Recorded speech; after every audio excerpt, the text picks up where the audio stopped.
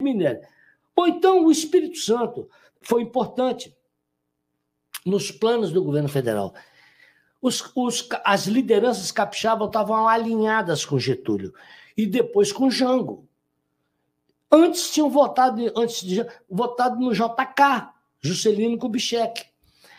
Enfim, é, é, não tinha porquê aqui nascer movimento contra.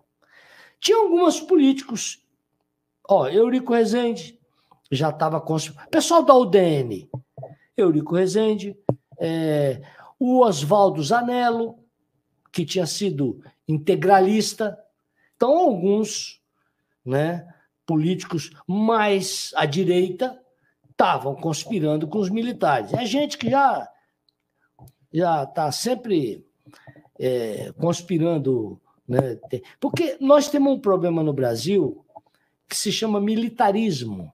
Militarismo é uma espécie de ideologia que existe nas Forças Armadas do Brasil. Não existe nas Forças Armadas norte-americanas. Não existe nas Forças Armadas francesas, nem inglesas. Lá no primeiro mundo, lá na Europa, não tem essa ideologia chamada militarista. Essa ideologia é, militarista é uma, é uma ideologia segundo a qual os militares são uma casta superior e que podem resolver as coisas melhor do que os civis. Eles são mais do que os civis. São uma espécie é, iluminada, um semideus. Então, essa ideia existe no Brasil. É o tal do militarismo. Existe em lugar atrasado. Não existe no primeiro mundo. Nunca houve um golpe militar nos Estados Unidos, um golpe militar. E eles já tiveram mais guerras, mais guerra, mais revoluções, mais é porque lá do que, que aqui. O que, que acontece? Lá existe uma questão óbvia, né?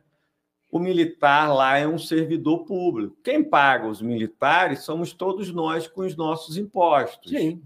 Né? Isso é o normal. É, e é, é, já que assim o é, todo servidor público ele tem que servir a todos. Sim. Nos Estados Unidos tem que servir a todos os estadunidenses, Sim. seja o rico, seja o pobre, seja o, o, o branco, seja então, o preto, seja o homem, seja a mulher, o idoso, ou a criança.